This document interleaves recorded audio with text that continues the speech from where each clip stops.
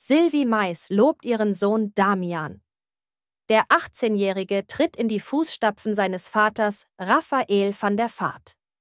Beide starteten ihre Karrieren bei Ajax Amsterdam. Sylvie ist mächtig stolz auf Damian und gibt zu, sein Talent hat er von Papa geerbt.